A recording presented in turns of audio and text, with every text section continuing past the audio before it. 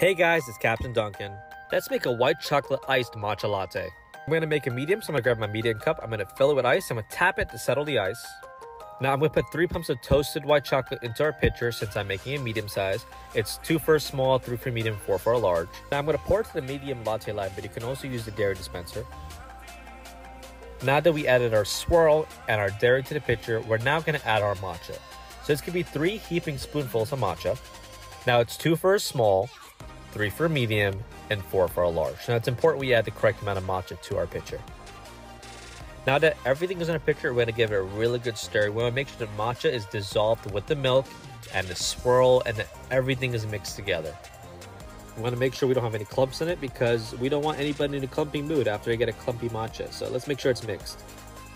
Now that everything is mixed, we're just gonna do the simple part, which is poured over ice. Now you can see there's no clumping to it and everything is mixed properly. This is what it's supposed to look like.